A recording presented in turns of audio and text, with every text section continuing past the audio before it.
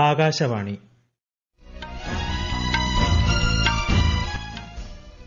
നമസ്കാരം. വാർത്തകൾ. വായിക്കുന്നത് ഹരിഷ്ണ.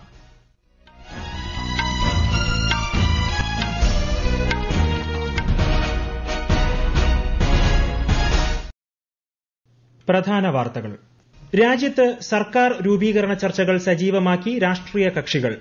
മുന്നണി നേതാവായി നരേന്ദ്രമോദിയെ തിരഞ്ഞെടുത്ത് എൻഡിഎ യോഗം. ഐഎൻഡിഎ സഖ്യത്തിന്റെ യോഗവും ന്യൂഡൽഹിയിൽ. പതിനേഴാം ലോക്സഭ പിരിച്ചുവിട്ട് രാഷ്ട്രപതി ദ്രൌപതി മുർമു. പ്രധാനമന്ത്രി നരേന്ദ്രമോദി ഇന്ന് രാഷ്ട്രപതിക്ക് രാജി സമർപ്പിച്ചു. പുതിയ സർക്കാർ രൂപീകരിക്കും വരെ കാവൽ പ്രധാനമന്ത്രിയായി തുടരാൻ നിർദ്ദേശം. ഡൽഹി മദ്യനയ അഴിമതി കേസിൽ മുഖ്യമന്ത്രി അരവിന്ദ് കെജ്രിവാളിന്റെ ഇടക്കാല ജാമ്യാപേക്ഷ തള്ളി ഡൽഹി കോടതി.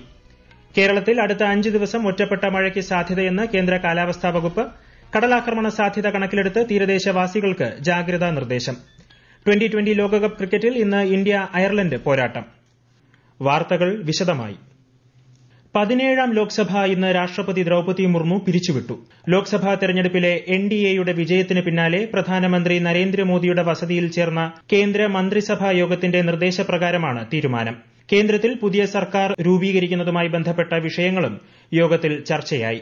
അമിത്ഷാ നിതിൻ ഗഡ്കരി രാജ്നാഥ് സിംഗ് ഉൾപ്പെടെയുള്ള കേന്ദ്രമന്ത്രിമാർ യോഗത്തിൽ പങ്കെടുത്തു.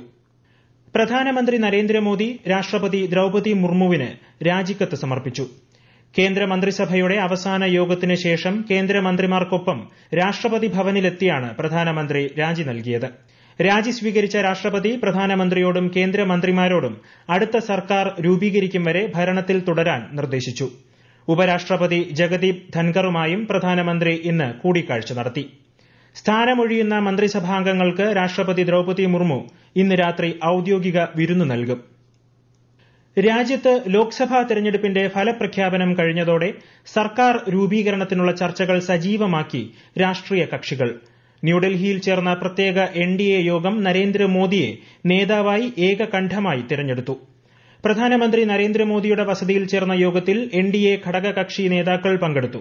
തെലുഗുദേശം പാർട്ടി അധ്യക്ഷൻ എൻ ചന്ദ്രബാബു നായിഡു ജെഡിയു അധ്യക്ഷനും ബീഹാർ മുഖ്യമന്ത്രിയുമായ Nitish Kumar L J P Ramvilas പക്ഷം അധ്യക്ഷൻ ചിരാഗ് പസ്വാൻ തുടങ്ങി പ്രമുഖ നേതാക്കൾ യോഗത്തിൽ പങ്കെടുത്തു. ദരിദ്രർ സ്ത്രീകൾ യുവാക്കൾ കർഷകർ ദുർബല വിഭാഗങ്ങൾ എന്നിവരുടെ ക്ഷേമത്തിനായി സഖ്യം നിലകൊള്ളുമെന്ന് എൻഡിഎ യോഗം പ്രമേയം പാസാക്കി. ലോക്സഭാ തെരഞ്ഞെടുപ്പിൽ സീറ്റുകളിൽ വിജയം നേടിയാണ് എൻഡിഎ മൂന്നാം തവണയും ഭരണ തുടർച്ച ഉറപ്പാക്കിയത്. സീറ്റുകളിൽ വിജയം നേടി ബിജെപി ഏറ്റവും വലിയ ഒറ്റകക്ഷിയായപ്പോൾ എൻഡിഎ സഖ്യകക്ഷികളായ ടിഡിപി പതിനാറ് സീറ്റിലും ജെഡിയു പന്ത്രണ്ട് സീറ്റിലും വിജയിച്ചു.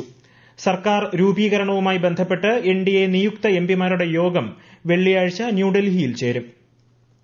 സർക്കാർ രൂപീകരണം മുന്നിൽ കണ്ട് ഐഎൻഡിഐ സഖ്യകക്ഷികൾ നടത്തുന്ന യോഗം രാജ്യതലസ്ഥാനത്ത് പുരോഗമിക്കുന്നു.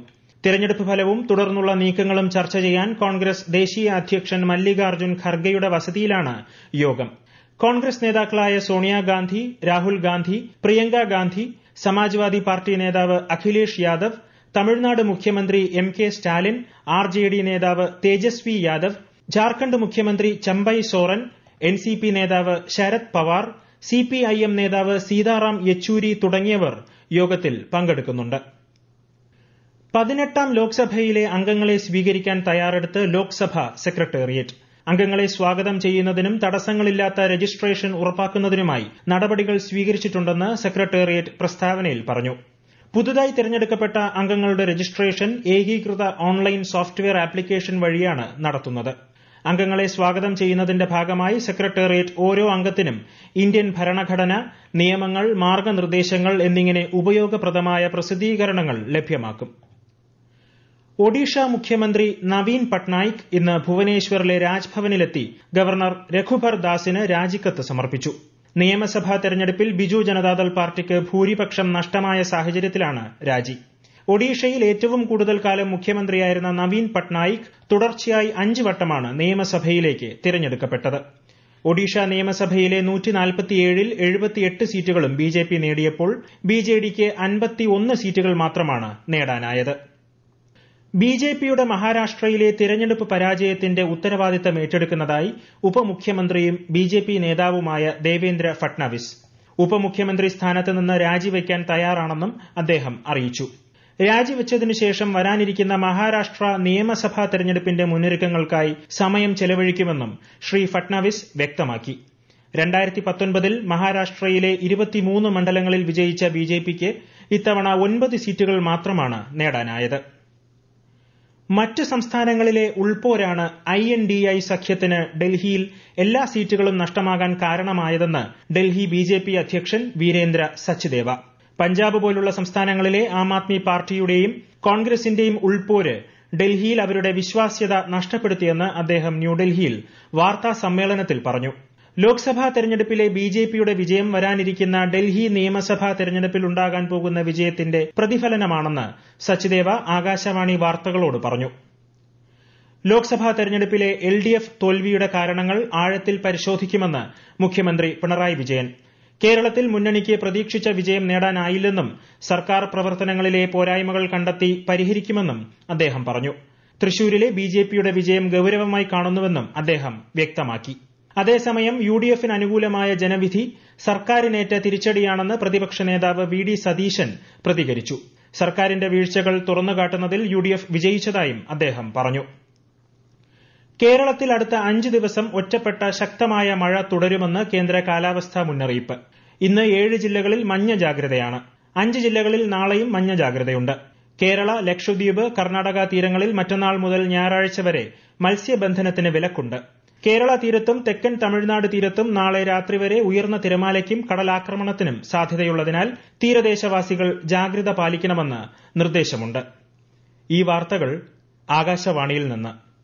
ഡൽഹി മദ്യനയ അഴിമതി കേസിൽ മുഖ്യമന്ത്രി അരവിന്ദ് കെജ്രിവാൾ നൽകിയ ഇടക്കാല ജാമ്യാപേക്ഷ കോടതി തള്ളി. അനാരോഗ്യം ചൂണ്ടിക്കാട്ടി ഏഴ് ദിവസത്തെ ഇടക്കാല ജാമ്യം അനുവദിക്കണമെന്നായിരുന്നു ആവശ്യം. ഡൽഹി റൌസ് അവന്യൂ കോടതിയിലെ സ്പെഷ്യൽ ജഡ്ജ് കാവേരി ബവേജയാണ് ഹർജി തള്ളിയത്. ഡൽഹി മുഖ്യമന്ത്രിയുടെ ആരോഗ്യ കാര്യങ്ങൾ ശ്രദ്ധിക്കണമെന്ന് കോടതി തിഹാർ ജയിൽ അധികൃതരോട് നിർദ്ദേശിച്ചു. കെജ്രിവാളിന്റെ ജാമ്യാപേക്ഷയിൽ കോടതി മറ്റന്നാൾ വാദം കേൾക്കും. രാജ്യത്ത് സായുധ സേനാംഗങ്ങൾക്കായി പ്രത്യേക ടെലി മാനസ് സെൽ രൂപീകരിക്കാൻ തീരുമാനം. ഇതുമായി ബന്ധപ്പെട്ട ധാരണാപത്രത്തിൽ കേന്ദ്ര ആരോഗ്യ കുടുംബക്ഷേമ മന്ത്രാലയവും രാജ്യരക്ഷാ മന്ത്രാലയവും ഒപ്പുവച്ചു. രണ്ട് വർഷത്തേക്ക് ഒരു പ്രാരംഭ പദ്ധതിയായി പൂനെയിലെ സായുധ സേനാ മെഡിക്കൽ കോളേജിലാണ് ഇത് നടപ്പാക്കുക. സേനാംഗങ്ങളുടെയും അവരുടെ കുടുംബത്തിന്റെയും മാനസികാരോഗ്യവും ക്ഷേമവും സദാ ഉറപ്പാക്കുക എന്നതാണ് പ്രത്യേക ടെലിമാനസ് പദ്ധതിയുടെ ലക്ഷ്യം. ലോക പരിസ്ഥിതി ദിനമായ ഇന്ന് രാജ്യത്തുടനീളം വിവിധ പരിപാടികൾ സംഘടിപ്പിച്ചു. രാഷ്ട്രപതി ദ്രൌപതി മുർമു ഉപരാഷ്ട്രപതി ജഗദീപ് ധൻകർ പ്രധാനമന്ത്രി നരേന്ദ്രമോദി തുടങ്ങിയ പ്രമുഖർ പരിസ്ഥിതി ദിന ആശംസകൾ നേർന്നു. ഒരു റിപ്പോർട്ട്.